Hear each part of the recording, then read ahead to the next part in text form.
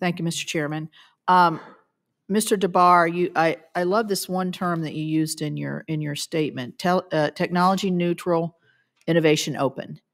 Um, because I think we need to focus on solutions. I mean, everybody's talked about it. So, uh, as one of the things that we've seen in the data, that mortality from natural disasters is significantly um, lower in more technologically advanced societies with access to energy and resilient infrastructure.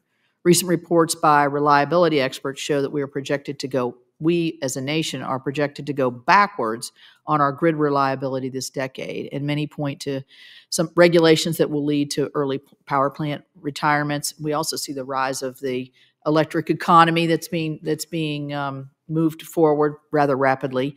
So and and all everybody's mentioned that the most vulnerable are those that uh, are in the lower uh, economic echelon of our uh, of our society, and that's troublesome, obviously for me. So, how will extreme weather impact energy demand, and how how do you think grid reliability will impact our vulnerability in these events?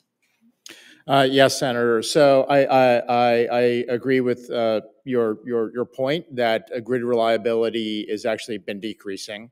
Uh, I think the most stark example that most people don't know about is that there's actually been more power plant shutdowns in many areas of the country. New England is one, New York is another, Texas is another. It's really actually all over, in which more power plants are being decommissioned for various reasons and are being built. And the ones that are getting built have a lower capacity factor, so the number of megawatt hours is way lower. And so I think we should be concerned about that. That gets to regulatory processes and siting, whether it's state or federal, that we're that in the kind of world that we're trying to electrify, Right. we're actually de-electrifying. Uh, and, and I think that's that, that's a, a long and complicated process that needs to be streamlined.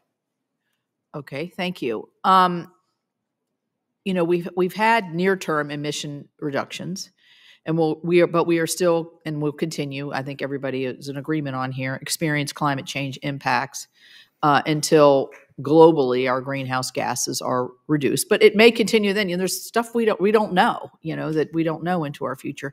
How do we create economic conditions for innovative solutions for technology neutral innovation open that would increase our resilience and our disaster readiness. I mean, at the Department of Energy, you probably saw this, you probably see this as well, certainly overseeing the national labs. Dr. Wehner's at a national lab. Um, are there near term technologies uh, that can be deployed to improve our adaptation strategies? Yes, Senator. So, so uh, as I mentioned, we don't know, uh, we cannot clearly see which technologies are going to be best. So, having regulatory processes or um, uh, mandates uh, from states and so on that allow for those new things. Instead of mandating we're only going to have this type of technology we're only going to have evs we're only going to have nuclear we're only going to have wind whatever it is is poor is poor technology policy. And so we should we should be allowing all of those to be kind of neutrally supported whether it's through epa or state approvals or through funding because if you overly fund one area, you're going to get more of that. And and uh, being more neutral across that for regulatory and funding purposes uh, is better is better technology policy. Thank you. Um, in terms of you know where we're headed, you, I thought it was interesting in your statement you mentioned that President Bush in uh, I guess 2001 was trying to predict, his commission was trying to predict over 20 years where we're going to go. How do you see that accelerated now? I, I, I feel like we're on a much more accelerated path through some of the uh, bills that we've passed. Uh, how, how do you see that developing? And are we the global leader here, or are there other technologies around the globe that we're looking at? So, uh, America by far leads the world in energy discovery. Manufacturing is a different topic, but when it comes to energy discovery, America rules the roost on many different metrics. So, there are many things. We are accelerating, uh, Senator. There's a, there's a reason why that process has, has improved significantly.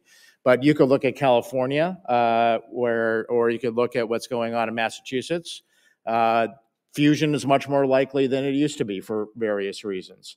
uh, and many others. So I think, I think the acceleration of discovery has dramatically improved. We're in a much better space on, on that front. Thank you.